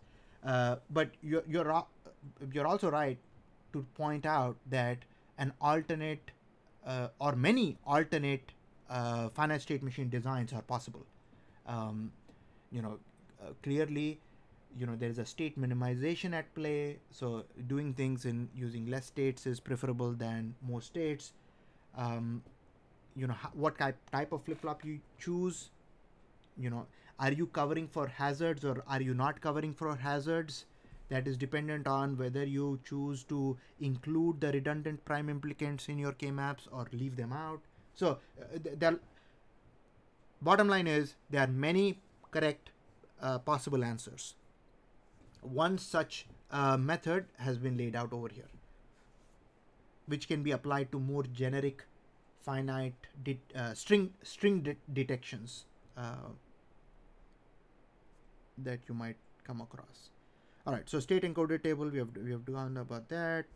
Let's go on and then the, the, the next few slides are actually just going through the exercise that we uh, talked about. Uh, let's see. How are we doing with respect to time? We have about uh, 20 minutes left. So what I'm going to do is I'm going to slightly jump to a more interesting problem here. Right here. So this is another combinational lock example where you have two debounced push buttons X and Y and you are um, th these are these buttons X and Y are being used to enter a combination.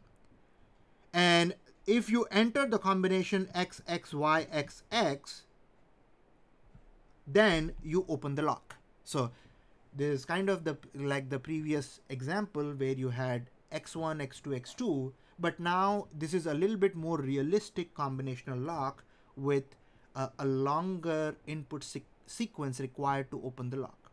The sequence is it has to be x x y x x. If and only if you get x x y x x you open the lock. But there are also some other uh, features built into this combinational lock. So for example, if you press Y three times in a row, you reset the lock to the initial state. So if you are anywhere in the uh, state diagram, you press Y three times, you reset the lock. Now, the feature number three here is anytime X is pressed out of sequence. What does pressing X out of sequence mean? Meaning X, X, then followed by another X. That is pressing X out of sequence, right? So if you press X out of sequence, an output signal sets out sets off an alarm to indicate that the lock is being tampered with. Something very realistic, right? So you cannot press X out of sequence. If you do, then you need to set off an alarm output. Fourth feature, when the lock is open, pressing either X or Y will cause the lock to close without signaling an error. So without no error, if the lock is open, if you press any one of those push buttons, it will the the the lock will close.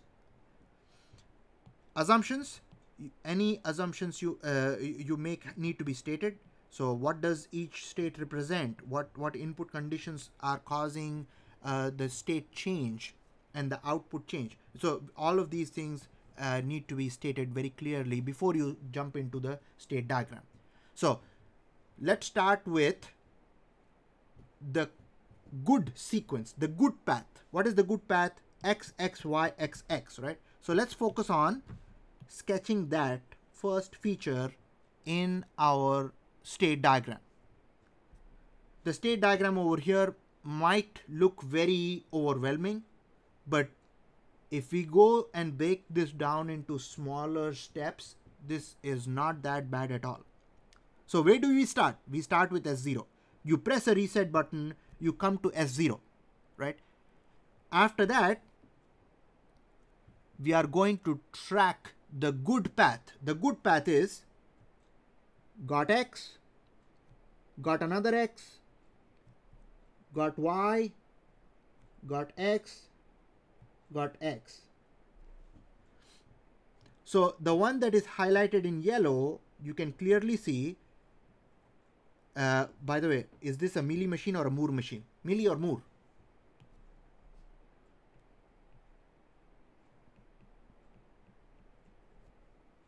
Mealy is right. Mealy is right because you see output is on the arc. It is not on the state. And the outputs are actually two of them. One is for uh, alarm and one is for unlock. So it is 0, 0, 0. So 0, 0 means no alarm, don't unlock. 1, 0, like here, it means sound an alarm but don't unlock. So S0, S1, S2, S3, S4, S5, those are the five states indicating the good path, right? So from S0, you move to got X, got XX, got XXY, got XXXYX, got XXYXX, S5. And as at S5, no matter what input you get, you go back to reset state. Now, where are things uh, where are things unlocked? Things are unlocked only in this box S5. That's the only time things are unlocked without an alarm, hence the color choice of green. So outputs are 0, 0 here, no alarm, no unlock, no alarm, no unlock. Uh, sorry, I should say no alarm, don't unlock. No alarm, don't unlock. No and no no and no. But over here, you don't have an alarm when you are moving from S4 to S5. As soon as you get your new input, the fifth button press of X, as soon as that happens, while you are transitioning to this state, you unlock, but you don't sound an alarm, right? So it becomes unlocked on the transition. That's why mealy, right? It, it can change, the output can change as soon as there is a change in the input the change in the input is the fifth input bit press X. So that's the good path that we have highlighted over here. Now let's go back and take a look at uh, the next feature. The next feature is press Y three times in a row to reset. How are we how are we doing that?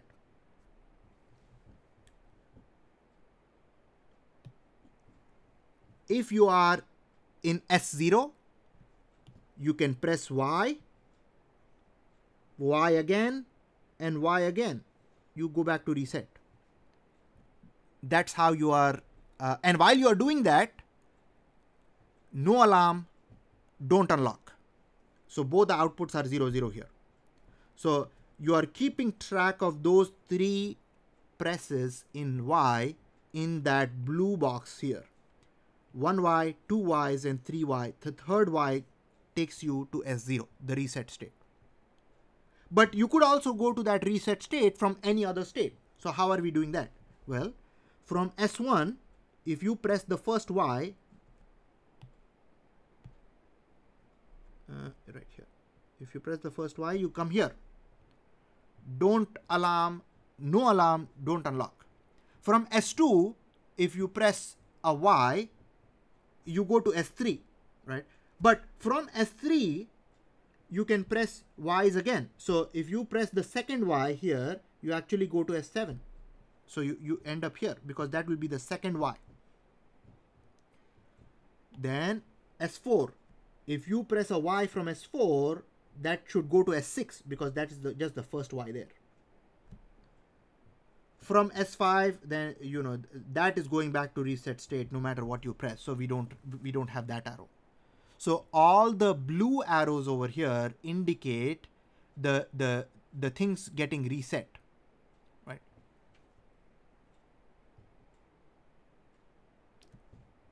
There may be other arrows as well. So let me try to take a look here. Uh, da, da, da, uh, reset. Why, why, why? Right. So this is also reset. So suppose you are in S8 S8, S9 and S10 belong to the alarm group, alarm state. That means that you have pressed X out of sequence. But if you have pressed X out of sequence, there is still a way for you to reset the machine by doing the three Ys. So first Y, second Y, third Y goes through S0. So all those highlighted in blue are feature number two. Right. Now let's go to uh, the, the, the third feature here, which is, uh, let's do it in uh, red, pink, say.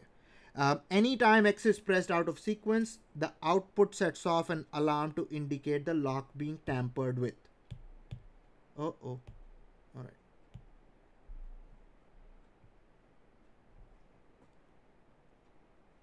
When is when is that going to happen? Well that could happen from s2 why is that? Because you wanted you wanted x x y but if you pressed x x the third x you go to the alarm state s8 which is where you sound an alarm which is why you have that output to be 1 but you don't unlock here. So you never unlock in this red box. You are always sounding an alarm in the red box but there are ways to come out of that block by hitting Y three times. Uh, how else could you go into that alarm state? Well, if you if you press Y once and you press Y twice, you are in S7. But if you press X at that time, that is pressing X out of sequence. You go back to that alarm state S8.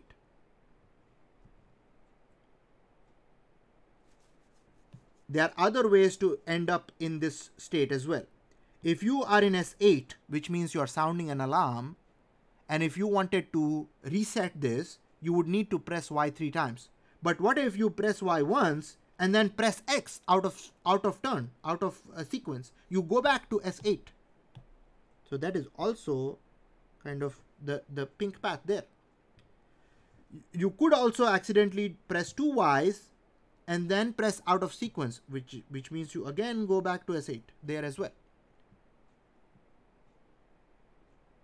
And you could be in S8 and you could panic and press X multiple times, which, which means you continue to be in that alarm state.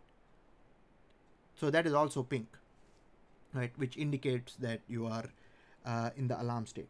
So there, are, there, there is only one way for you to walk back the alarm which is pressing Y three times and hopefully only the the person who is uh, who knows that sequence of pressing three Ys is able to reset the lock uh, reset the alarm right?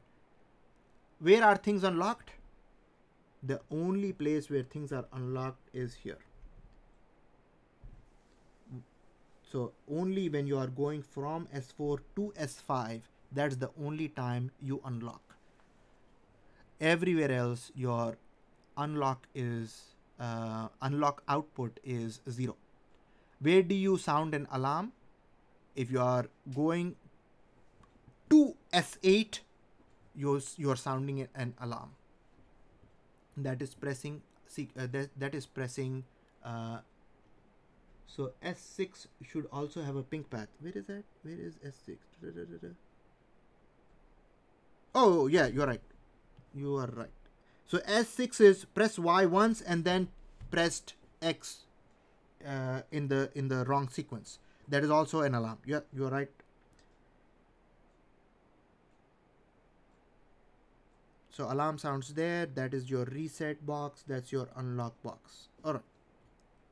So how can we simplify this? We can simplify this by first looking at the yellow cycle, right? Got X, the intended way to unlock things.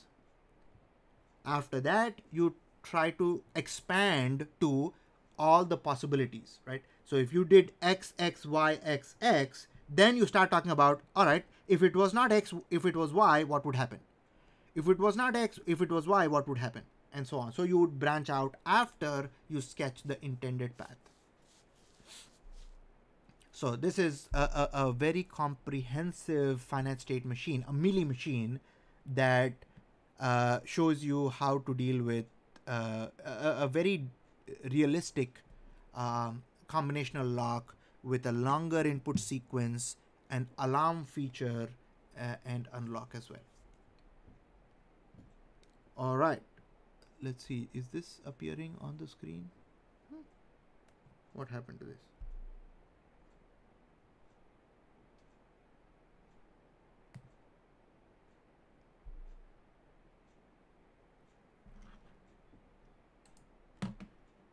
Uh, I'm not sure if you guys are able to see any changes in the screen. Well, I, I think, okay, now it, it started kicking in.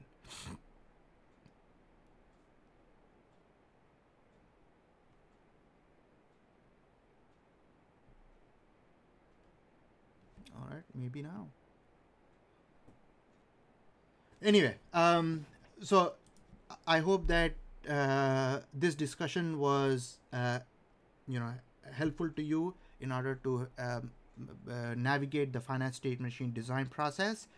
There are a few more examples that are on the slides, but I hope that with the discussion that we have had, uh, you guys are um, you know equipped to uh, look at those other finite state machine designs that are available. There is a simple traffic light controller which uh, talks about you know expiring uh, uh, expiration of some timers. Uh, so take a look at that. please ask me questions if you have any. In fact, I can I, I, will try to make a another video of of that asynchronously and provide it to you so that you can watch it. Uh, questions at this time. So what I'm trying to say is there are a, a, couple of examples of finite state machine design here that we have skipped over which are essentially simpler than what we have discussed at the end. Uh, I, I, will provide that information as a as a asynchronous uh, a video. So I'll upload that uh, sometime later. Okay, um, so let us stop with this. I'm going to stop recording here.